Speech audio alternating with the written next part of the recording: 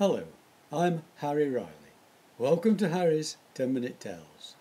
This is called Biscuit and Stagger, a short story by Harry Riley. We met quite by accident about seven years ago, and that was how it all began. On one of those rare, hot summer days when the mere act of walking seems to drain all the energy out of your legs, if you know what I mean. I was taking my usual woodland walk before tea, and had just stopped to draw breath when I heard it. Uh, pick your feet up, you clumsy oaf. You almost flattened me just then. It was a high pitched squeal, and I don't want you to think I'm a racist or sexist, or voicist, or any otherist. But this speaker didn't sound quite human. It was more like the false, echoey sound that comes from a ventriloquist dummy. Apparently it came from nowhere, and really irritated me. I looked around, but I was quite alone. No sign of man or beast. After shaking my head and thinking I'd imagined it, I carried on my way. Just around the bend in the track, I glimpsed a couple of rabbits, and might have given chase. But today I couldn't be bothered. So I sat down and scratched my jaw, the way you do. And then I heard it again. Oh bother, I thought it was too good to be true. I'd have been better off hitching a ride on a three-legged donkey. I'll never get home at this rate. There it was again. I wondered if I'd caught a touch of the sun. The screechy echo was coming from right behind my ear. Anyway, deciding to humour it, I asked the obvious question. Who are you?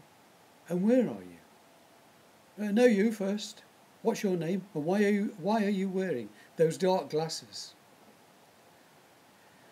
Okay, I gave in. Because I'm a little past my best, and my sight's not as good as it should be. I'm a Jack Russell named Biscuit, and I object to giving anybody a free ride. The invisible man behind my left ear began a long choking laugh. Oh dear, we are a right pair. There's you a blind dog, Biscuit, and here's me a five-legged flea called Stagger. I was curious. It was an obviously clever and articulate flea, that chance had blown across my path. But how had he come to lose a leg?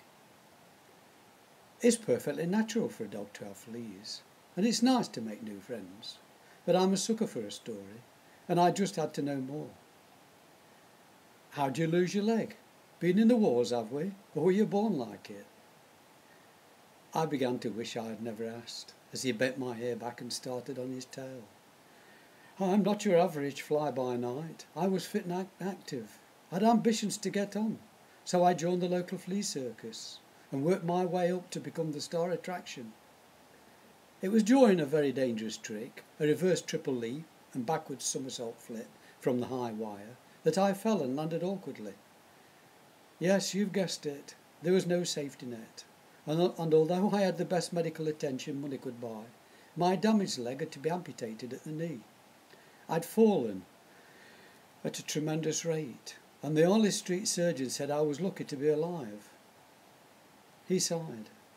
Now I hobble about with a wooden leg.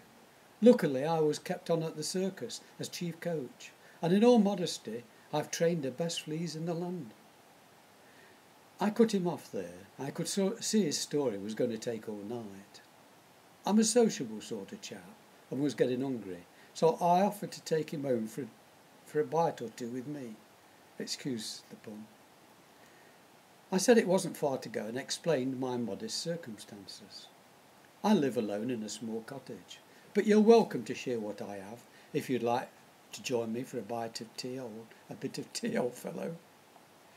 Over a cup of Earl Grey and a toasted tea cake, my new friend continued with his amazing, celebrity filled life story. I hail from a long line of artists my family have always been go-getters. My great-great-grandfather rode with Buffalo Bill in his Wild West show, and Dad performed with a fantastic international escape artist, the great Flea Deeney of Barnum and Bailey. My younger sister, Lycia, is a top model on the catwalk. She's even appeared on Big Brother, but had to leave early. Couldn't stand all the backbiting that went on behind the scenes. He hesitated. You say you're practically blind? I nodded. You have it in one. AGE. Progressive glaucoma. Nothing can be done. More tea? Later, over a cigar and a drop of single malt, he developed his great idea. A double act that only the two of us would know. To all intents and purposes, it would just be me, performing on my own, doing impossible tricks for a blind dog. I could become your managing coach, teaching you sword swallowing, fire eating, and my favourite trick that always brought the house down, riding a bicycle blindfolded through a series of road cones. I could be with you, giving secret instructions from behind your ear, every step, or rather, pedal of the way. Despite my modest protestations that you can't teach an old dog new tricks, he would not be deflected. And eventually, after much hard work and bruising falls, he introduced me to Bertie Miles' circus as Wonder Dog, the amazing blind Bisquito. We travelled the world together, and now he's sadly gone, buried under the old apple tree in my small garden. I mow the grass around his grave every week with my Flymo and keep the cats away. As Bisquito, I carried on for a while with an apprentice flea, but it was never the same.